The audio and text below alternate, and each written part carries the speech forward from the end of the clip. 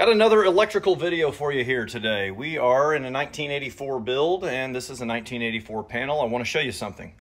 If you look a little bit closer, and hopefully the flashlight doesn't mess up with a glare or anything, but the ends, the service, the service wires, the branch circuit wiring, it's all got a green film. It's got this green haze to it.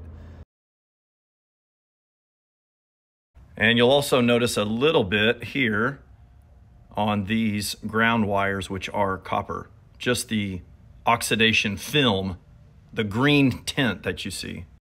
And so the real issue is when you've got that oxidation or you've got that green film, which eventually turns into kind of like a crust and a buildup, it's not conductive. Um, and so when it's at electrical, heat will build up on that crustiness, whatever you want to call it, then you could potentially have arcing and you could have obviously a fire safety hazard. We're not there yet, but we don't want to get there.